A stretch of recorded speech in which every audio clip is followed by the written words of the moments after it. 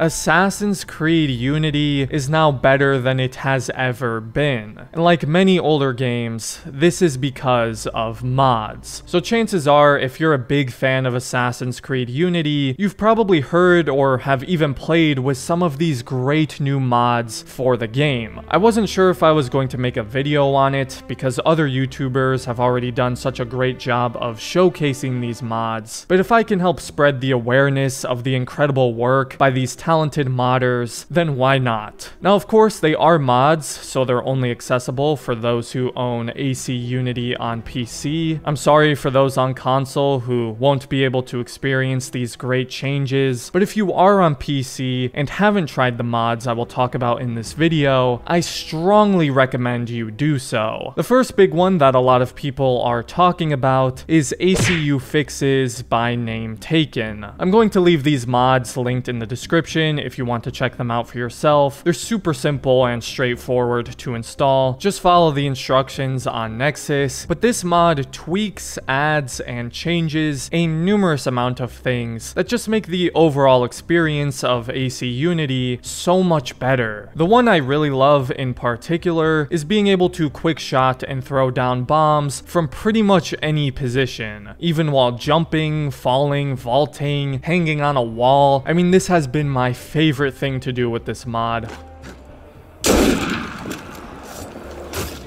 That is so badass. And that's the kind of freedom and creativity this edition allows for. You can also drop smoke bombs while doing numerous actions as well, even when you're assassinating someone, which just allows you to keep that flow and fast-paced stealth. And you can throw smoke bombs from areas where the game wouldn't originally let you, like in hiding places for example. It's so much fun. On top of this, you get a wider pulled back FOV when aiming a bomb, which makes makes it so much easier to see and throw these bombs at longer distances. Obviously, in the vanilla version of the game, the camera for whatever reason pushes in, and there are times where it can be hard to see where you're aiming exactly. This completely removes that issue. It's not just with the bombs either. That also goes for the guillotine guns. On top of this, you get a designated button for entering windows. There is technically one in vanilla, but it is so inconsistent. This mod makes it so that you can enter windows and hiding places extremely seamlessly. It feels as smooth as entering windows in Syndicate now. Another really nice quality of life improvement was to the cover system. If you've ever played Unity, you know the cover system can be very janky and a little difficult to move in and out of at times. This mod makes it so easy. I was actually shocked at how easy it was to get out of cover. The catch ledge or as it's called in Unity, Breakfall, was made far more reliable and consistent, making it feel more in line with its predecessors. There's a more responsive crouch button. For some reason, crouching in the base game had always had this weird delay to it. Again, just felt very janky. This mod fixes that as well. You get an auto and slow walk, and even a hood toggle, which is really cool. And if you choose to do so, you can even activate slow motion whenever you'd like to create some cinematic moments, and you can switch on a look behind button. All of this, along with various bug fixes, is what this mod brings. To me, this is the definitive way to play this game now. There's no way I'm going back to vanilla. Definitely check it out if you're on PC. If you want a great showcase of this mod and all the different things you can do in it, I recommend Altair Stealth's video. He did a super clean run with this mod. I'll link his video in the description as well. But the next mod I want to talk about is Halzoid's Outfit Manager by Halzoid98. And this mod allows you to pretty much create whichever color scheme for the different gear pieces in Unity you want. Again, after using this, to me, it's a must-have. I always thought some of the color schemes in Unity were very odd, and this mod allows you so much creativity and extra customization. It's fairly easy to install and I had a lot of fun trying to come up with these different outfits. I love the red and black color combination. Oh, wait a minute. Am I a Templar? Point is, I can finally use that color combo on a lot of the outfits within the game, and it looks so sick. I even made this ridiculously ugly neon pink and green fit, just to give you an example of how far you can go with this mod.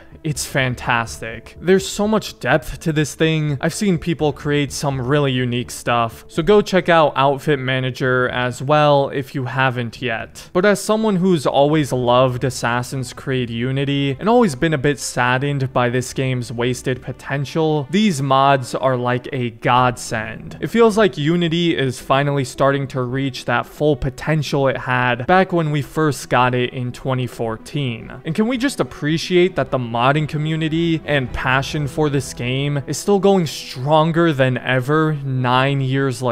I mean, who knows? This could be the start of even more great mods. It's no surprise to me that the community and modders care more about improving the game than Ubisoft themselves. This game has just been on such a wild journey, so let's keep it going. If you're on PC, if you like Assassin's Creed Unity, give these mods a try and go support Name Taken and Halzoid. If you're on console, I don't know what to say, I'm sorry. But as a longtime fan of this game, it holds a very special place in my heart. And for the first time in forever, I'm genuinely excited about the future of this game and the amazing creations people can come up with. But let me know in the comments, have you tried some of these mods yet? And what other things would you hope to see brought or changed in AC Unity in the future? As always, if you guys enjoyed the video, I'd appreciate it if you left a like and considered subscribing to the channel if you're new Special thank you to all my members for supporting me, it really means a lot. And other than that, thanks for watching, and have a great rest of your day, Assassins.